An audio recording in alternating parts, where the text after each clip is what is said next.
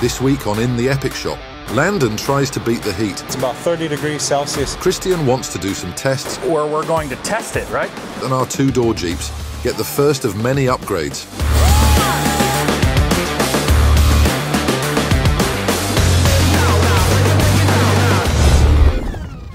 All right, like I said, there's gonna be like five things we're gonna do to these Jeeps right off the bat.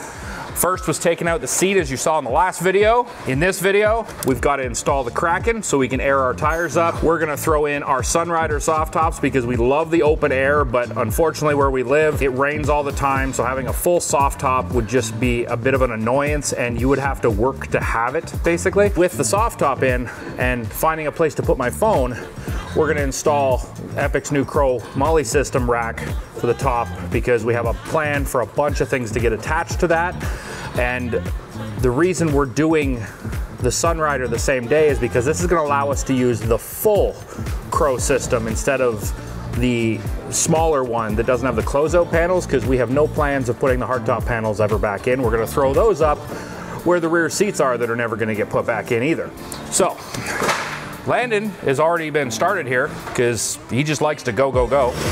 So he's doing the wiring. So as you can see, we've already got the wires up to the battery for the compressor to go down to the Kraken. It's gonna go come up underneath the passenger seat and it automatically fits the 2024 seat that is in power because it's exactly the same. And it also fits it if we had the power seat. So everything's basically set up nicely. We're starting off with the old teal Jeep that we haven't yet figured out the exact name we're gonna call it yet, but don't worry, it's not gonna get named a Jeep. It's gonna have a whole different, it's gonna have an identity of its own, I promise you that.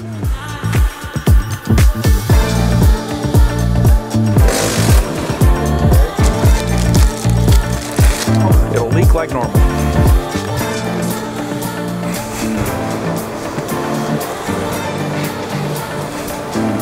We're gonna put some butyl down so we seal the already not very watertight floor plug, but might as well not make it worse than it already is.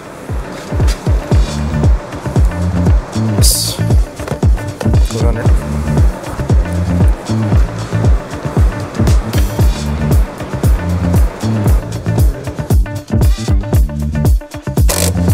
Plug.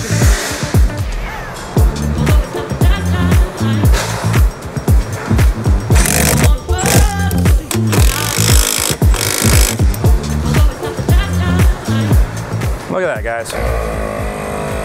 Hits pressure, stops. Pressure relief. It's satisfying. You just sit here.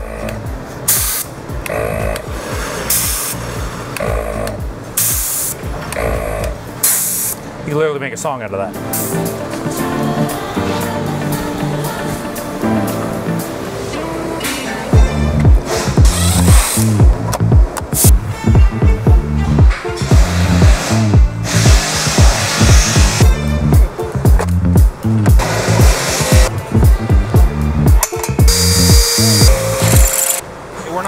Installing any of the lights or the bags today because I don't know where all my wiring is going to run yet because probably we're going to put our radios up here and if I'm doing that I might as well run everything the same direction as the antenna and power for the radio. So whether that is this way or that way I still haven't even figured out where I'm putting the antenna yet. Unlike other places in the States I have to worry about a tree ripping it from wherever it is. So I'm not really a fan of putting it off the side of the hood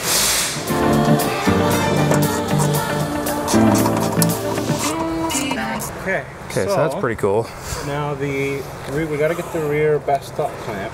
And then we've First got of all, we got to get the Sunrider on. Yep. Then we're gonna have to do some trimming to the clamp Yep. uh, to actually fit. Fit and hold everything down. Yep. Okay. So I guess we should open up the Bestop bag. Be careful before you decide to cut into your soft top bag.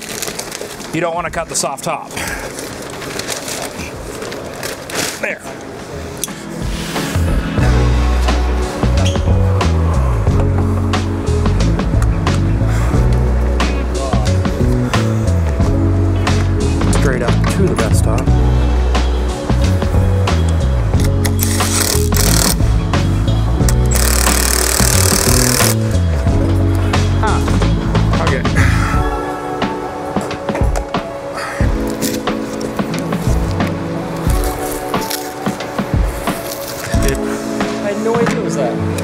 Off we go. Okay.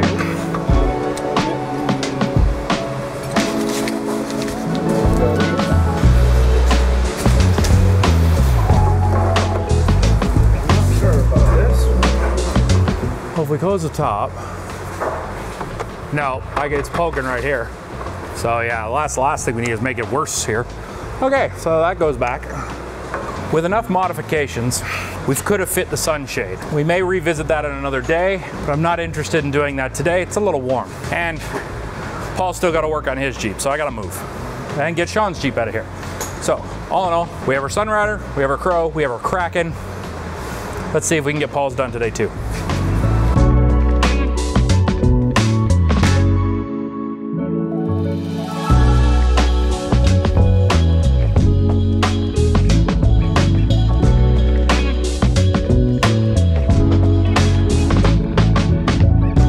Just finished the top four out of five things that you can do for your Jeep. We have the Kraken air inflation system. I happen to have the one with the pressure module in it because I'm cool. Two is we did a Crow Molle system is above there. And then three, our best number one thing I love is the Sunrider soft top is in there. I love the Sunrider, it's amazing. Four, I removed the rear seats, they're gone. Got rid of those things, nobody needs those. And number five will be figuring out where to put our phone. We got a few things on order and we'll be showing that to you shortly. But uh, otherwise, yeah, there's your top five things. Four are done, one to go, out. All right, guys, we got my two door back in here. As you can see, I have lots of space to carry stuff, but we have to be very strategic in this. So we're gonna put in the first step we need. I need to be able to stack more than just one level. So we're gonna have to have multiple levels. To do this, I have a product from Vector Off-Road today. I had one in my previous four-door. Turns out they also make the nicest one for a two-door, so why wouldn't I just go with something I already knew? So we're gonna put a shelving system in here to allow me to at least split up packing to two levels, and that's a starting point where we're gonna go with this. So let's go find the box somewhere in this shop and open it and see what we got. Ah. Here we go.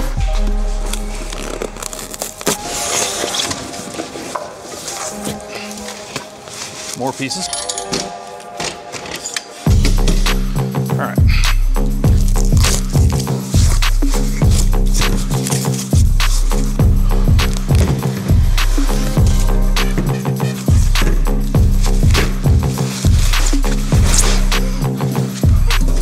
Already comes with mounting for Rotopax holders if you wanted to mount like some water or stuff underneath this inside.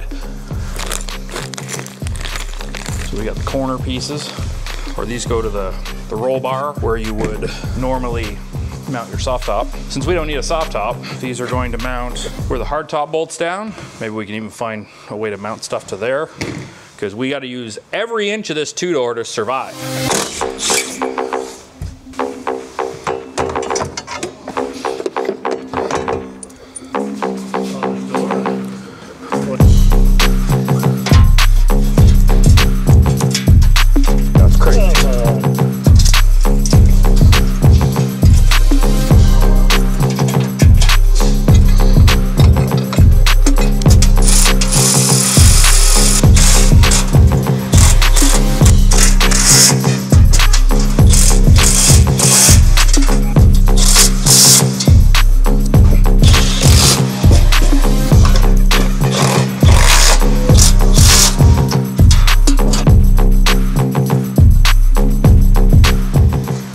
So that's actually kind of nice because there's a slight tip backwards the way I have it set, which means stuff shouldn't slide this way as much.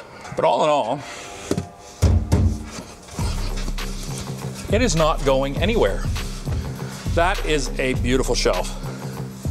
And honestly, this just is a game changer already for basically doubling almost the amount of space I have to organize without having to take everything out of the car to get to something. Because I don't want to have to empty the Jeep to grab one item back there. This is just one piece of my organization plan. This is basically going to be the top part. I think it's going to have like the the bags for the clothes and gear and some other stuff up here so it's easy accessible but I have a package coming from Goose Gear that'll be below this so I'm hoping with the Goose Gear the middle section and this I'll have three levels of organization possibility plus what's gonna be behind it because the goose gear doesn't go all the way to the front seats. So there's gonna be a bunch of space in between for larger items, like maybe if I wanna bring a comfier chair or a tent that's longer when it's packed. You'll just have to wait and see. This is just one of many videos. I think we've got 30 of them to shoot in the next couple months. So if you wanna see how I decide to outfit mine and Paul decides to outfit his, you're just gonna have to stay subscribed to the channel, like, comment, hell, Maybe I put the wrong item in, maybe I put the best item. Maybe you've never heard of this before. We'll make sure to link this down below, but try and stay cold, guys. It's hot out.